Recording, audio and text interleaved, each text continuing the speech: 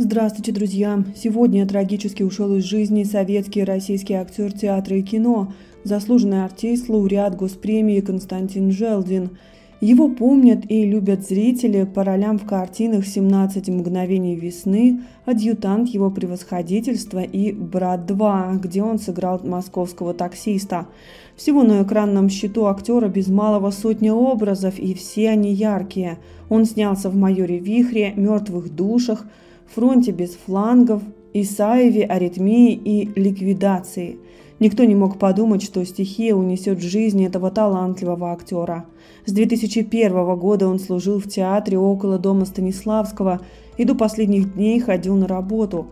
По данным телеграм-каналов, скончался артист от последствий обморожения. По неподтвержденным данным источников, актеру стало плохо, когда он шел в театр. На остановке у него случился сердечный приступ. Если бы артисту вовремя оказали помощь, он был бы жив, но люди не обратили внимания на человека, одиноко сидящего на остановке, и никто не узнал в нем знаменитого актера. По сообщениям телеграм-каналов, следователи не обнаружили следов насильственной смерти. Предполагаемая причина его гибели – обморожение, именно так считает эксперт. Но официальной информации пока еще не поступало.